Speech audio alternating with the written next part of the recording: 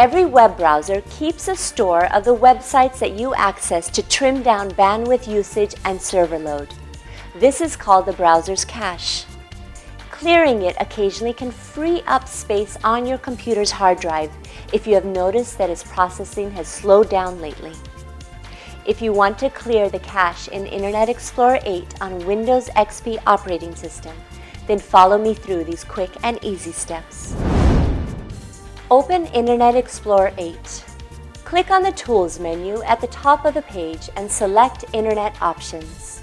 In the General tab, click on Delete button from the Browsing History section. A new window will now pop up. Select the checkbox next to Temporary Internet Files Only and then click on Delete button. Click on OK to close the Internet Options window. Congratulations! You have successfully cleared the cache in Internet Explorer 8 on Windows XP.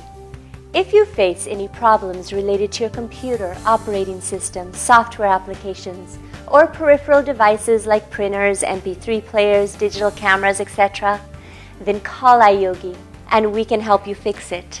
Good karma.